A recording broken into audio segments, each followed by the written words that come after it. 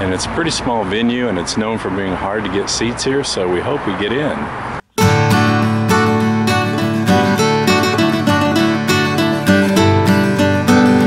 We were going to be driving through Nashville, and we decided we wanted to go to the Bluebird Cafe.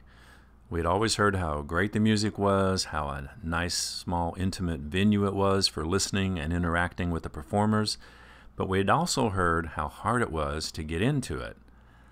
So we decided we needed to figure out how is this done? How do you get into the Bluebird? So the first step was to go on the website. And on the Bluebird Cafe website, they have a link that says how to make reservations. I read through all that and followed all the steps and went on at the appointed time and got in the queue line, but to no avail. When it came down to it, I, I waited for my place, and when it got to me, it was sold out. It's just such a small venue and such a high demand that it's very hard to get tickets online, even. You just have to be one of the lucky ones.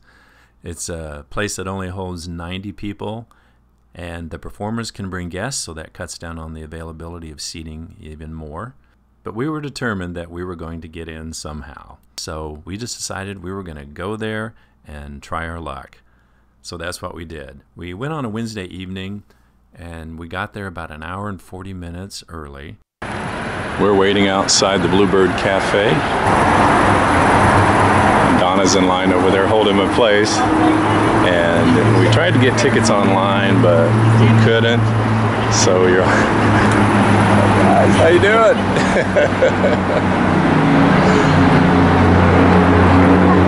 tried to get tickets online, but we couldn't. So your next alternative is to come and wait in line.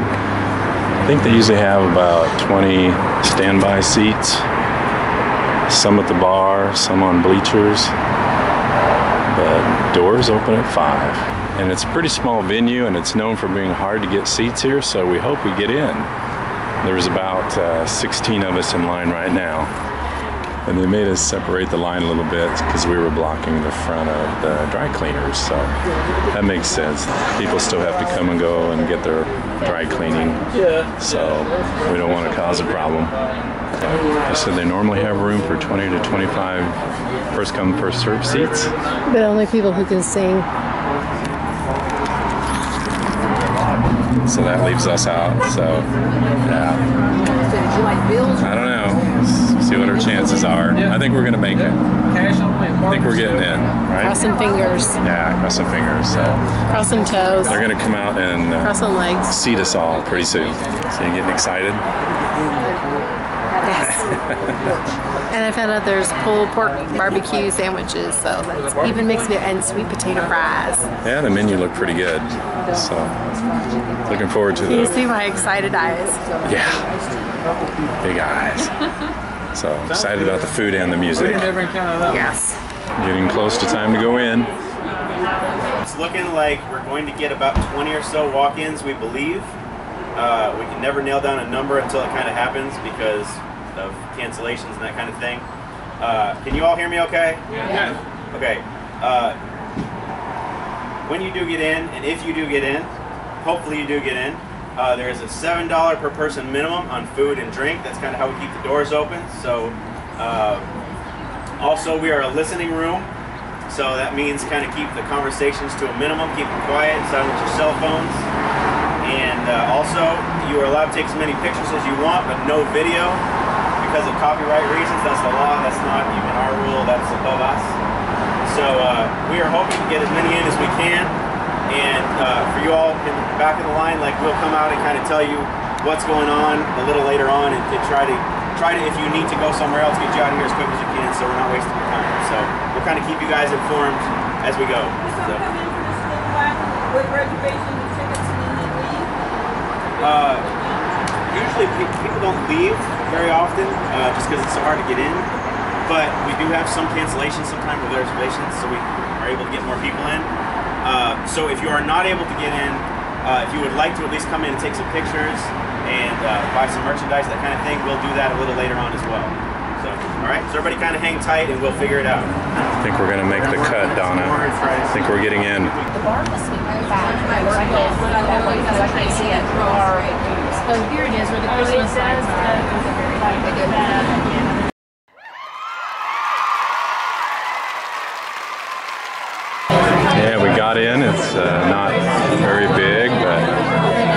Seats, behind us? close to the stage.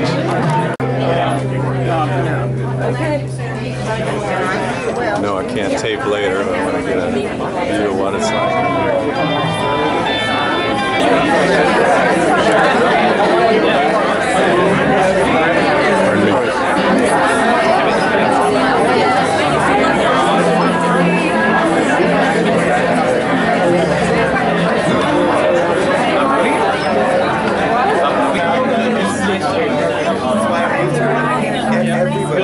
Bahia.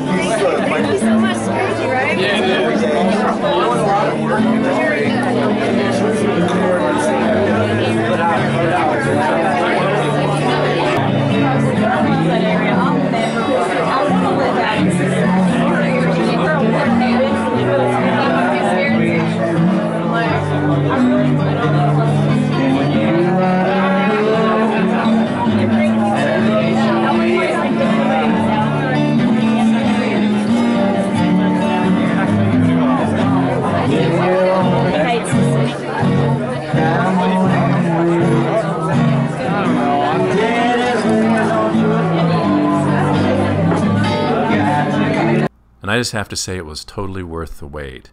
It was a great evening of music and interaction with uh, performers. You're very close to the stage no matter where you sit, and it was some of the best live music I've heard in a long time. We would definitely recommend that you try to go if you can, whatever it takes. Uh, we did eat there. They're not known for their food, it's pretty basic food, but you go for the music and the experience of just being in that close proximity to the performers and getting to hear them perform their own compositions and tunes and it's just an amazing experience. Please like, share, comment, and subscribe to our channel if you would. And if you get a chance to go to the Bluebird, do it. Have a great day. Bye.